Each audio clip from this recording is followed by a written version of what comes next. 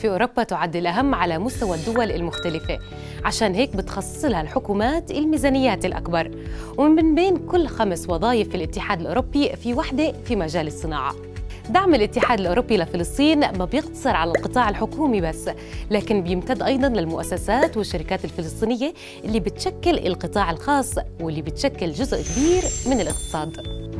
القطاع الخاص في فلسطين يعتبر من أكبر القطاعات اللي بتشكل جزء ضخم من الاقتصاد الوطني الفلسطيني ويعد من أكبر القطاعات التشغيلية لأنه بلغت نسبة العمالة فيه 66.3%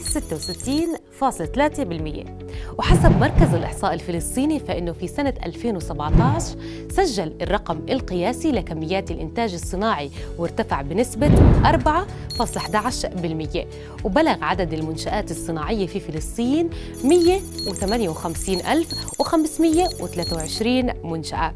ساهم الاتحاد الأوروبي بدعم وتمويل حوافز مدن صناعية في فلسطين وتحديداً في مدينة أريحة الصناعية الزراعية في الضفة الغربية بقيمة 2 مليون يورو من خلال منحة الشراكة الإقليمية برايد إلى جانب الحكومة اليابانية اللي ساهمت بمبلغ 4 مليون دولار وكمان دعم الاتحاد الأوروبي مدينة غزة الصناعية في قطاع غزة واليوم رح نشوف شو بتعمل هاي المدن الصناعية.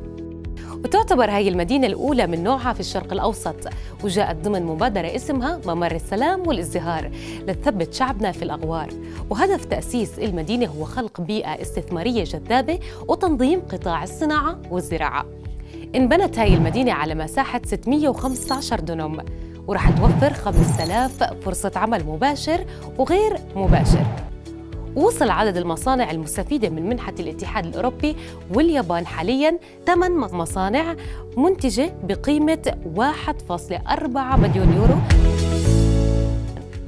ومن مدينة أريحة بنروح على مدينة ثانية في فلسطين واللي دعمها الاتحاد الأوروبي.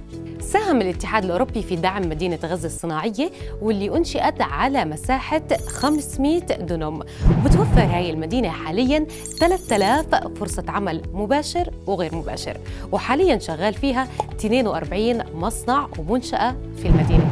وبعد حرب 2014 على غزة دعم الاتحاد الأوروبي هاي المدينة بمبلغ 10 ملايين يورو. 2.5 مليون يورو لترميم البنية التحتية اللي دمرتها الحرب. و7.5 مليون يورو لتعويض أصحاب المصانع اللي تدمرت من القصف واللي رح يتم نقلها لداخل المدينة وتشغيلها على أساس الأمن والأمان. وهيك بكون الاتحاد الأوروبي بدعم وبقوي قطاع الصناعة في فلسطين. سؤال حلقتنا لليوم. متى يتم الاحتفال بيوم أوروبا الذي يصادف ذكرى إعلان شومن وولادة الاتحاد الأوروبي؟